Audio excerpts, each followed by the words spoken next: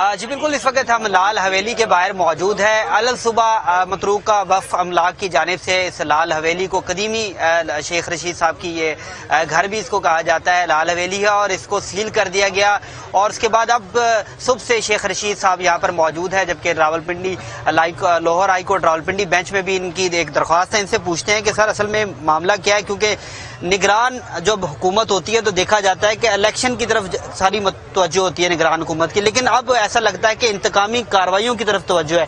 आप इस हवाले से क्या कहेंगे? इनकी तवज्जो पर्चा कटवाने में है और इनको मालूम नहीं है कि भाई हम ऐसी गंदी बात नहीं कर सकते, हमारी मलकियत है। आप कहते हैं कि साढ़े तीन मरले हम कहते हैं साढ़े चार मरले हैं। आपने रात के अंधेरे में पहले रेंजर्स को बुलाया, वो नहीं आई एफसी नहीं आई, ये आसफ साहब ने।